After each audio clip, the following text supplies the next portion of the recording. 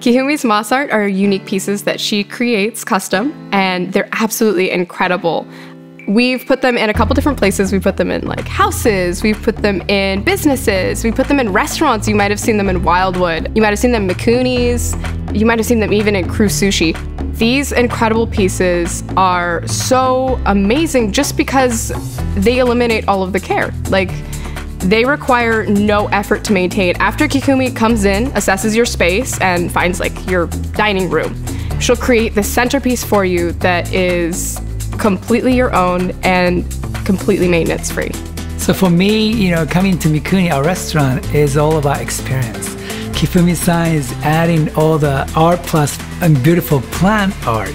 And then we have a moss wall, just bring customer in peace. And uh, I asked her uh, impossible thing like, can you make the ocean with the moss? and she did it with the fish and everything all together. It's just a beautiful art piece. Kifumi-san is the one knows everything about plants and she's the one I go to every time if I have a question.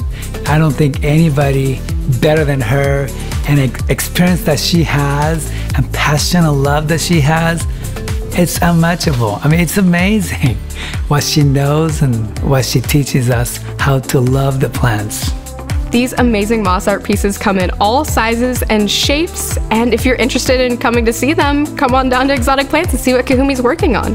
Her magical green art is always evolving.